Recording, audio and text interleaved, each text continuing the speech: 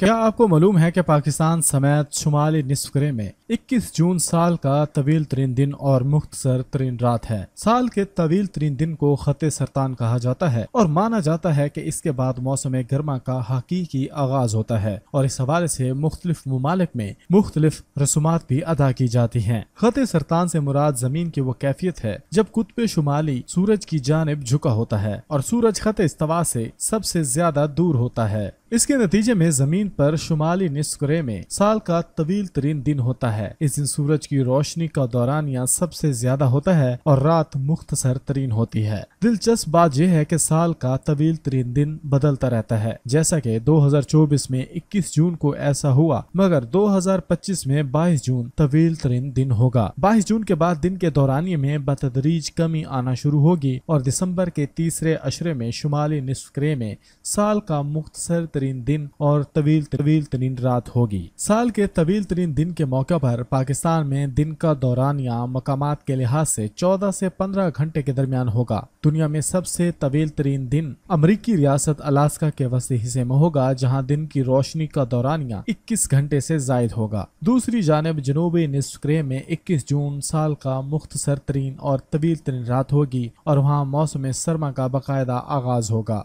कुतुब जनूबी के मरकजी मकाम, यानी बर अजम अंटार्कटिका में इस दिन कुल 24 घंटे तारीकी का राज रहता है। आइए अब जानते हैं तवील तरीन दिन के कुछ दिलचस्प हकाई। कुछ ममालिक में इस हवाले से दिलचस्प रवायात भी मौजूद हैं। यूरोपीय मुल्क स्वीडन में इसे मिड समर कहा जाता है और हमेशा जुम्मे को मनाया जाता है, यानी वहाँ साल का तवील तरीन दिन तेईस जून को करार दिया जाएगा। इस मौका पर वहाँ मेलों का इनका होता है। बरतानिया के तारीखी मकाम स्टोन हिंज में भी इस मौका पर लोग जमा होते हैं और मुख्तलिफ़ सरगर्मियों का हिस्सा बनते हैं। खत सरतान को जरखेजी से भी मुंसलिक किया जाता है क्योंकि इस अरसे में फ़सलों की काश्त में इजाफा होता है। इस मौका पर सूरज खत सरतान के ऊपर होता है और चंद रोज तक दिन के वक्त एक पोजीशन में नज़र आता है। साल के बाकी हिस्से में सूरज की पोजीशन बदलती रहती है। कदी मिस्र में इस मौके पर नए साल का आगाज़ होता था।